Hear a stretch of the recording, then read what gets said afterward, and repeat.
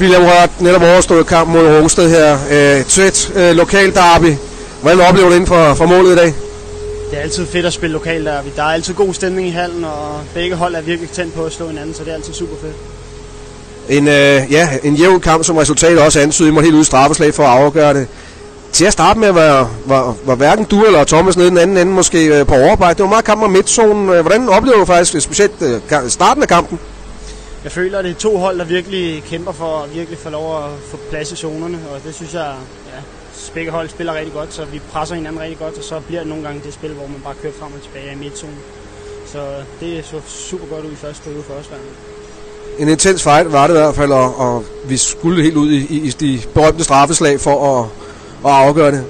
Hvad, hvad tænker man egentlig som målmand? Eller er det noget, man forbereder sig på? Worst case scenario, at den går dertil? Eller hvordan, hvordan øh, forbereder du dig på sådan noget? Jeg, man når ikke rigtig at tænke, at den går i straffe, vil jeg sige, men altså, når den kommer til det, så ved man bare, altså, man har øvet på det i mange træninger, så nu skal man bare ind og gøre det, man har øvet, og så bare gøre det bedste, man kan.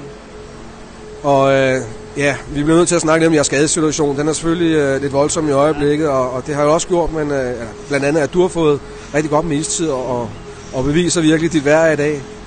Øh, hvordan er det sådan lidt at, at, at man sige, ikke komme ind fra siden, men, men, men, men lige så, så, så, hviler der meget på dig? Det er super fedt. Det er, jeg, altså, selvfølgelig er det ærgerligt, at han er skadet, men altså, så må jeg bare tage min chance, og så det, må jeg ind og gøre mit bedste, jeg kan, og forsøge at hjælpe holdet til at vinde så meget som muligt. Og til kampen i dag, der var træneren ude og sige, at øh, der skulle folk på, på lægterne, og, og der skulle støtte jer så godt som overhovedet muligt i, i den her svære situation. I lykkedes at få 2-2 mod mesterne.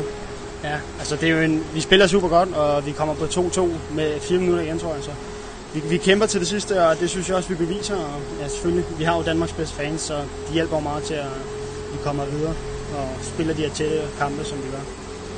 I fik også brudt den her nederlagstime, selvom jeg ved godt, I, I tager efter straffeslag. I får da et point i dag, men, men det må også give lidt tro på, at, øh, at der er flere point at hente fremover. Selvfølgelig, selvfølgelig. Altså selvfølgelig skal vi have nogle flere point, og det føler jeg også, vi, vi gør mig. Altså, vi har haft nogle skader, og det må vi bare, der er ikke noget at gøre. Vi må bare spille med det, vi har, og nu begynder det stille og roligt, at kæderne begynder stille og roligt at kunne spille hinanden bedre, og det ser mere og mere lovende ud, synes jeg.